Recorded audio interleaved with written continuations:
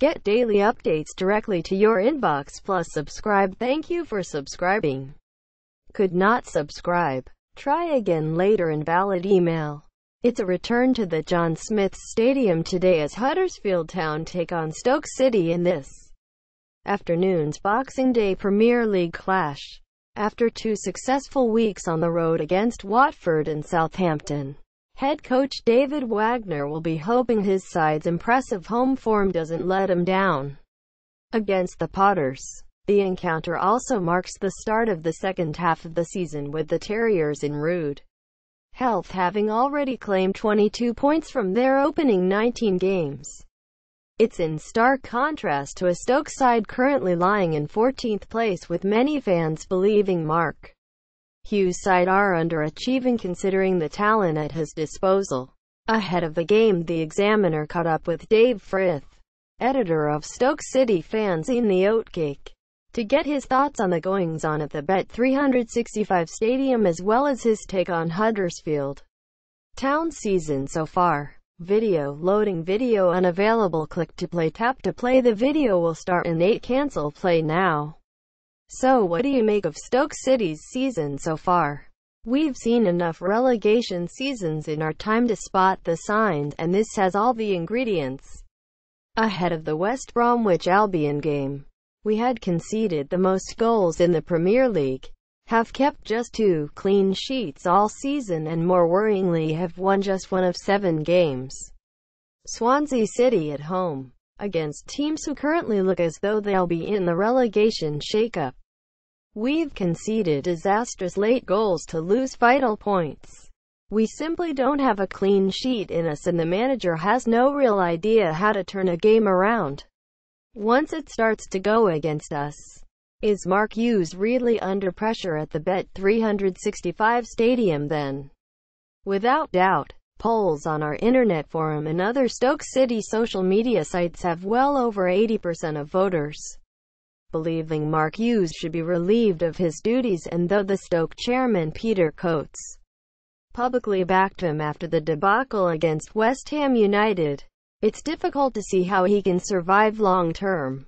It is sad it's come to this Hughes was a breath of fresh air in his first couple of seasons.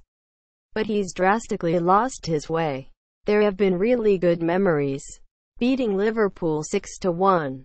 Victories over Arsenal. Tottenham Hotspur, Chelsea and the two Manchester clubs and being within a penalty shootout of a League Cup final appearance. Some of the football we played with the likes of Bojan, Steven Nzonzi, Marko Arnautovic and Xherdan Shaqiri in the team was as good as anything since the great 1970s. Team of Hudson, Greenhoff et al. Hughesy is the first manager since the 1930s to deliver three consecutive top 10 finishes in the top flight. But our performances have gone backwards at an alarming rate over the past couple of seasons. On top of that, his record signing, Giannelli Imbula, is out on loan to a French club, Saido Berahino, who Hughes chased for three or four transfer windows. HASNT scored a competitive goal for the club in the near 12 months he's been here in 18M. Defender Kevin Wimmer has been a major disappointment. Who is the player Huddersfield Town have to look out for? If Xherdan Shaqiri doesn't turn up, we've not got a lot else going for us sadly. Joe Allen will cover every blade of grass and Jack Butland is a quality goalkeeper who will go on to bigger and better things but he's no miracle worker. What do you make of Huddersfield Town's inaugural Premier League season so far? It very much reminds me of our first season in 2008-09. Our away form was poor, but we turned the Britannia Stadium into a fortress and that was the foundation for our survival. So far, Huddersfield's only three home defeats have been against Spurs, Manchester City and Chelsea which is no disgrace of course while the victory over Manchester United, as well as that superb win at Watford, will have been massive for confidence. So far, so good. Which town player would you like most like in the Stoke side? And why? I have to be honest.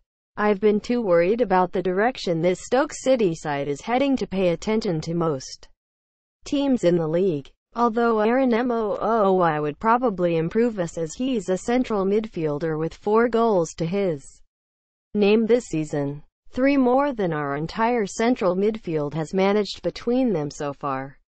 If you've got good full-backs, they'd both probably get in our team as well. Any standout memories from previous meetings between the two sides?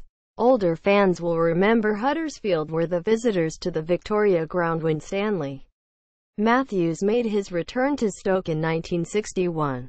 We were regular opponents in the late 80s and 90s and I remember a 3-0 victory on Boxing Day 1987 at Leeds Road, a repeat of which would be most welcome.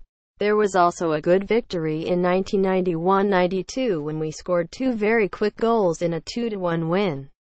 Though we've yet to win a game at the John Smith Stadium.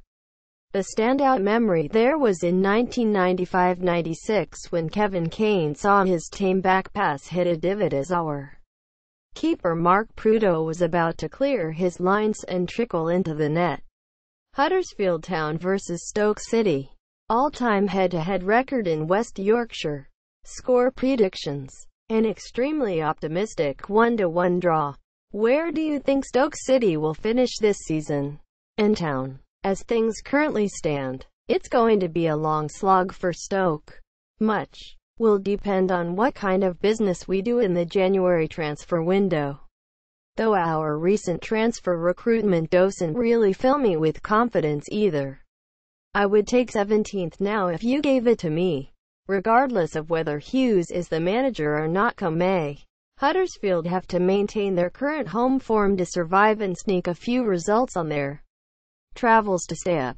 It will be tough, but there seems to be a good spirit around the place so I think they'll probably manage it.